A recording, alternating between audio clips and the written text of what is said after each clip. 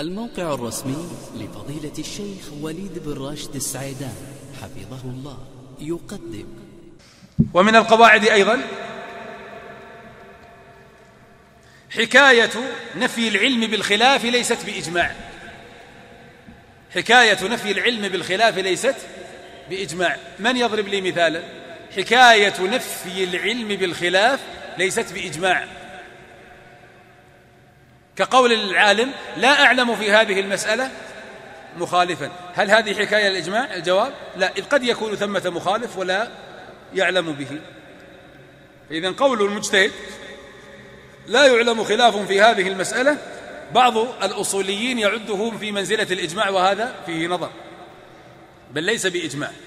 لكن فيه نفي خلاف وفيه اتفاق الأكثر أو إثبات قول لجماهير الأمة.